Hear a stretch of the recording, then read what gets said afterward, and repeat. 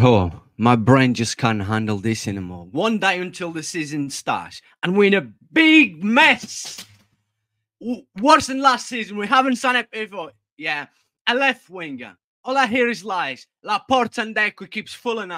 We spent 16 million on a player that we haven't even resisted yet. Danny um Inigo Martinez hasn't even been resistant too. Frenkie de Jong, it's been out for how long? God knows how long.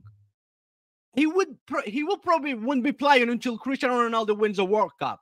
But this guy still earns more money than an important star has dick in the refuses to re- to renew. Barca was meant to go back to 1-1 F- FP rule two months ago. What happened? Lakeland was on his way to Atletico. Uh, This guy will get another pay rise, and soon he will be in and more than Messi. What the f- is wrong with my club, man?